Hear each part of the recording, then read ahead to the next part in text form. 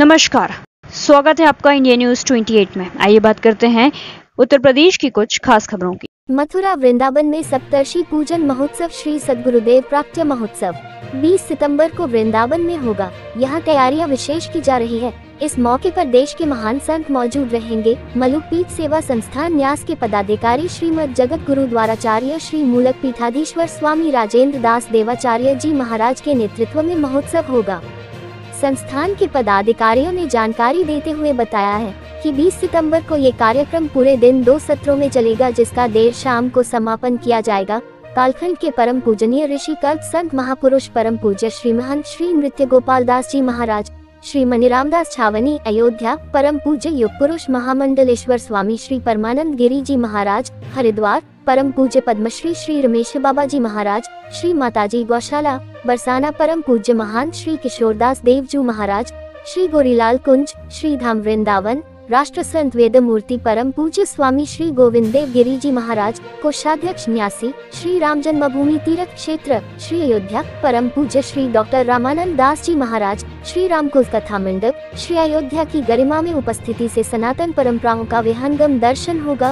विशिष्ट अतिथि दिनेश चंद्र जी, अंतर्राष्ट्रीय संरक्षक व मार्गदर्शक विश्व हिंदू परिषद, मार्गदर्शक एवं संचालक परम पूज्य महामंडलेश्वर गीता मनीषी स्वामी श्री ज्ञानानंद जी महाराज, श्री कृष्ण कृपा धाम, श्री धाम वृंदावन, स्नेहाकांक्षी परम पूज्य पंडित श्री धीरेन्द्र कृष्ण शास्त्री श्री बागेश्वर धाम, संयोजक परम पूज्य श्री रसिक माधव दास जी महाराज श्री धाम वृंदावन महोत्सव की शोभा बढ़ाएँगे। मथुरा संवाददाता ब्रजवीर सिंह जादौन की रिपोर्ट। उसमें ब्रजमंडल के महान विभूति रमेश बाबा जी महाराज आ रहे हैं। श्री नृत्य गोपाल दास जी महाराज जो राम जन्मभूमि के न्यास के अध्यक्ष हैं। श्री गोविंद गिरी जी महाराज जो राम जन्मभूमि के कोषाध्यक्ष हैं। यहाँ श्री स्वामी हरिदास जी परंपरा के महान विभूति श्री गोरीलाल कुंज वाले महाराज जी विराज आए पधारेंगे। और बड़े रास मंडल के श्री श्री लाडली जी महाराज पधारेंगे। और कृष्ण कृपा धाम वाले महाराज जी, श्री ज्ञानानंद जी महाराज का भी आगमन है। और बड़े भाई साहब जो दिनेश जी, विश्व हिंदू परिषद के अंतर्राष्ट्रीय संरक्षक, मार्गदर्शक भी विराजमान होंगे, मुख्य अतिथि के रूप में। और हमारे ब्रजमंडल के नंद बाबा श्री रमन वाले महाराज जी यहाँ उस दिन सबको दर्शन देंगे। हम सब अपने सौभाग्य की सराहना करेंगे, ऐसे सब महान विभूति आधार करके कृता श्री बागेश्वर धाम वाले महाराज जी भी आ रहे हैं और रामदेव बाबा भी, मनोज तिवारी जी, जो सभी परसों सुबह ही 20 तारीख को 10 बजे आ रहे भारतवर्ष में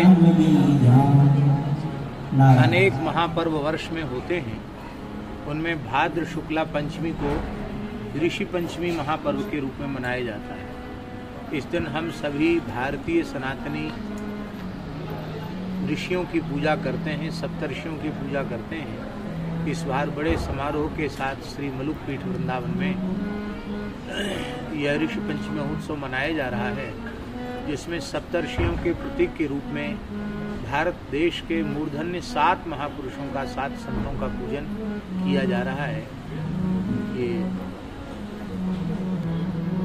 वस्तुतः माता पिता गुरु, ऋषि, मुनि, महर्षि, इनका जब हम आदर करेंगे, सम्मान करेंगे और इनके द्वारा दिखाए गए मार्ग पर चलेंगे, तभी हम विश्व गुरु भारत को बना तो उसी दिशा में एक प्रयास है।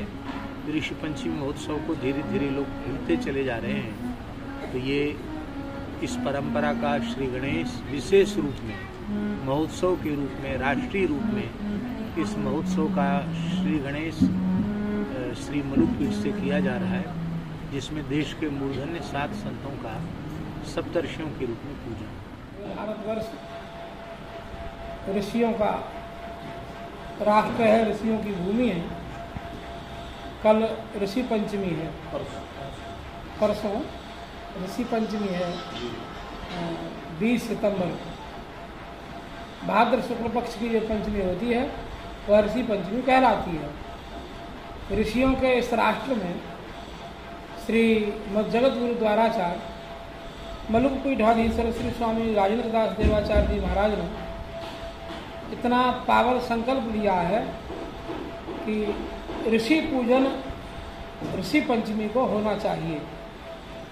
महाराज जी ने सात महापुरुष जो ऋषि कल्प हैं, ऋषियों के जैसे हैं, नित्य ऋषियों को जो कृत्य थे पहले, संध्या, वंदन इत्यादि नित्य करने वाले, नाम जापक, गो भक्त भगवत भक्त उन महापुरुषों को सात को चुन करके आपने ऋषि पंचमी के सप्तऋषि पूजन का कार्यक्रम निश्चित किया।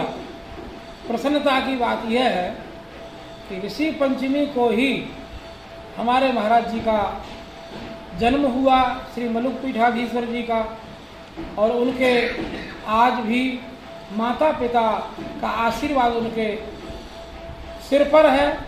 माता जी और पिताजी दोनों ही महाराज जी के प्रतिवर्ष आशीर्वाद देने आते हैं। और बहुत दिन से दास ने भी प्रत्येक महाराज जी के जन्मोत्सव में सम्मिलित होकर के उनका आशीर्वाद प्राप्त किया है। महाराज जी के आग्रह से श्री धीरेन्द्र कृष्ण शास्त्री बागेश्वर धाम वाले, जो भारत पाकिस्तान का बंटवारा होने पर भी दूसरा राष्ट्र तो भारत से जो कटा वो पाकिस्तान बन गया। लेकिन भारत को भारत नहीं कहा गया था। भारत को काट करके इस्लामिक देश तो बनाया, लेकिन हिंदुस्तान को भारतवर्ष को भारत नहीं कहा गया। इसको हिंदुस्तान नहीं माना गया। यह हिंदू का राष्ट्र नहीं माना गया आज तक। धर्म के आधार पर बंटवारा होने के बाद भी यह पीड़ा ऋषियों के हृदय में विराजमान है पहले से ही।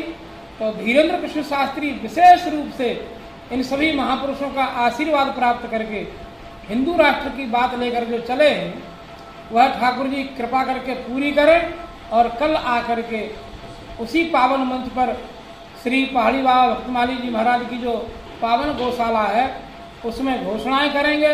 हिंदू राष्ट्र होना चाहिए। उनका प्रत्येक जीव से, प्राणी मात्र से उनका निवेदन है कि इसे हिंदू राष्ट्र स्वीकार किया जाए।